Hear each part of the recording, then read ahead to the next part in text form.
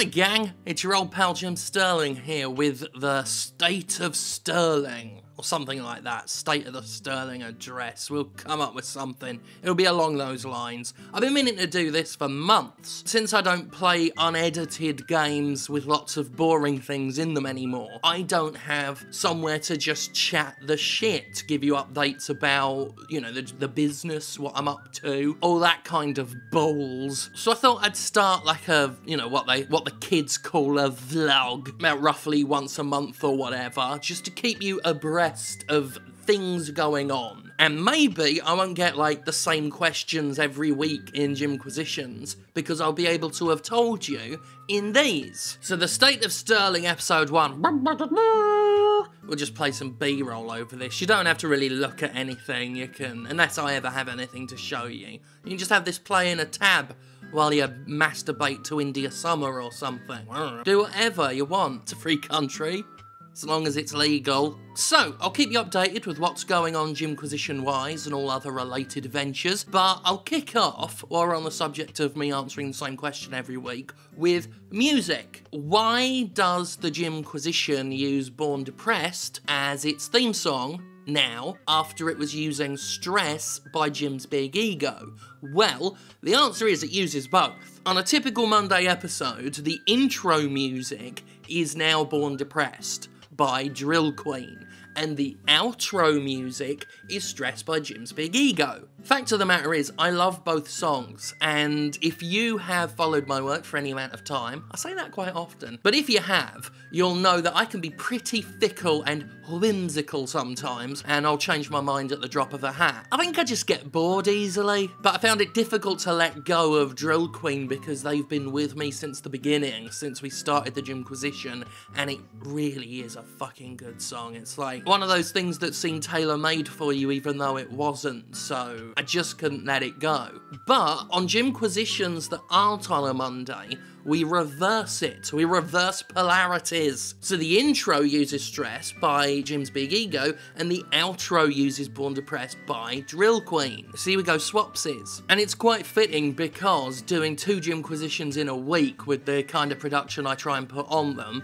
is an additional boatload of stress. So thematically, it works. I mostly like this because old British sitcoms, uh, chiefly stuff that Rik Mayall, uh, rest in peace, and Adrian Edmondson did, things like Filthy Rich and Cat Flap, The Young Ones, and of course Bottom, which is one of my favourite sitcoms ever. So there you go, that's why the music is what it is. Now let's get a quick bit of self-promotion out of the way in terms of wrestling. I know not everyone's into it, so we'll keep it brief, but tomorrow, at the time of talking, Saturday, February 10th, I'll be at Byram Baptist Church, it's Mississippi, for the Pro Wrestling Ego event, The Broken Path, where Sterdust is hosting the $10,000 match What's in his briefcase? It's like loot boxes. Who knows? People are going to have to wrestle to find out. And on a personal note, let me just say how wild the last few months have been in that regard. Sterdust, of course, was created as one of several Jimquisition side characters. Just another excuse for me to dress up silly and be silly. It all started because I used a couple of seconds of that silly CGI Stone Cold Steve Austin head that they used in, I think it was Unforgiven 2001. It's like hilariously bad and I just used it for a little goof in the Jimquisition, but a couple of seconds of that and WWE not only content ID'd it,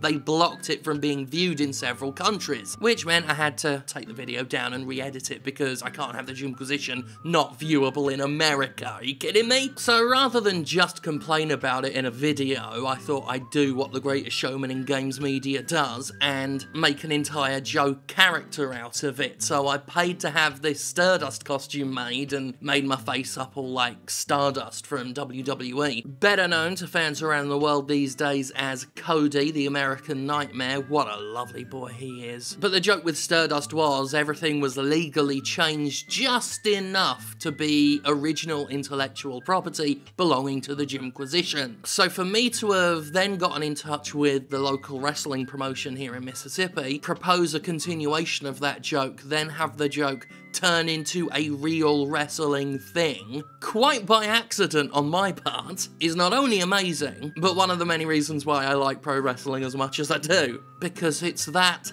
bloody gloriously absurd. But that's that anyway.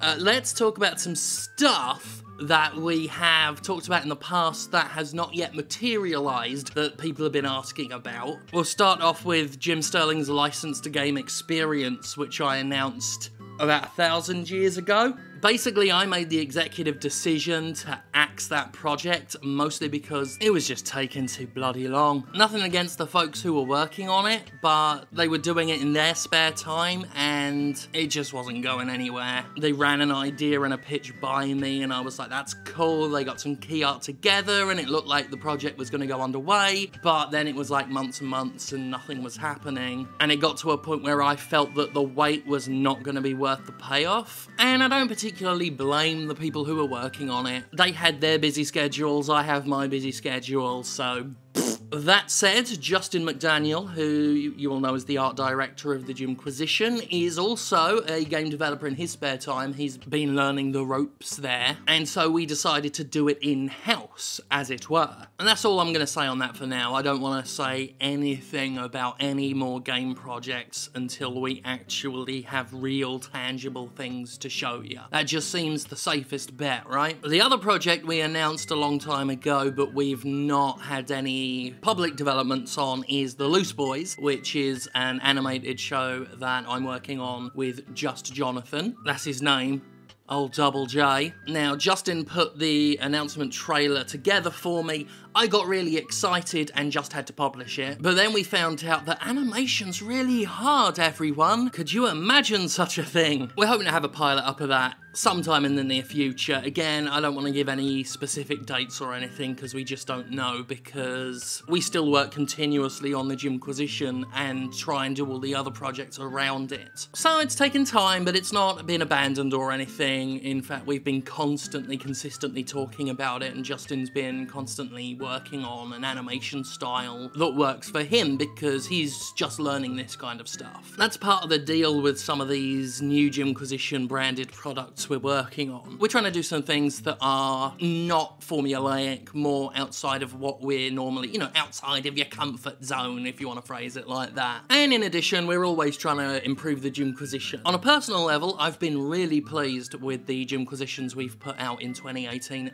thus far. They've been quite punchy episodes, and I've been trying to space out the episodes that focus on loot boxes and stuff. I'm not unaware that some people find it tiring that I talk about the same topics a lot, and I do try and be receptive to that, you know, like, as I say, space out those topics and put more unique stories like that Grand Theft Adelaide episode in between. Here soon we're going to be looking into upgrading the camera that we use, but I've always been a content over production values kind of person, so making sure the reason you actually come and watch the Jimquisition, you know, the opinions, the thoughts, the heart, the soul, the meat of the show, making sure that's still on point, still good, still top notch, as top notch as I can make it, remains the most important thing. On that note, we were going to get a better camera sooner, but really I need to upgrade the computer because it's just not able to cope with modern video editing. It served me well for many, many years, but just this week it's found itself unable to even start running games anymore. Poor little fucker's on its last legs. It's why there's not been any sort of gameplay videos from me lately. But I'm anticipating myself to be nice and modernised in that regard by Monday, which means I've got to suffer through editing one final Jimquisition on this one, which is going out of its way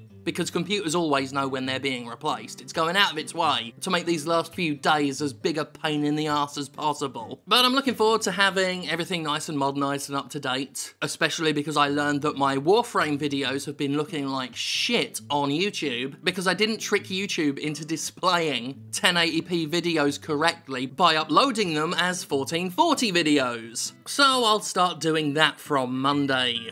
I mean, it's a fucking joke, isn't it? That'll about do it. Some of these will be a bit more sort of personal lifey, I think, but this one is more admin business, get it out the way. One last thing, Duke Amiel du H'ardcore will be coming back sometime this year for defos. There's more commentocracy coming. In fact, just recently, we received his new waistcoat complete with frilly frills from Die Another Day, who did the new Jimquisition waistcoat and made Sterdust's outfit. So I'm very excited to be able to give you a Farillia, more historically accurate commentocracy in the near future. I think that'll about do it. I've been banging on long enough. See you later. Bye.